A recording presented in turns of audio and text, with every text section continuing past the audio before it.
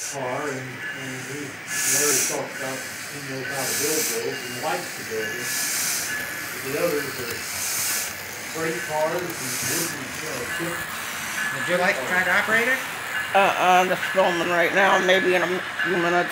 Okay. You can control it with this throttle.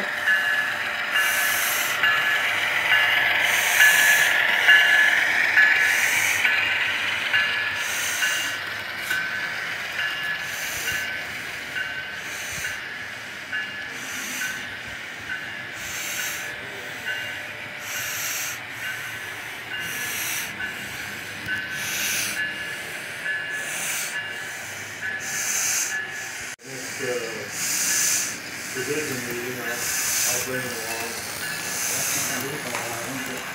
Uh, I don't know. Probably January, February. Well, I told him it had be since about nineteen seventy-eight.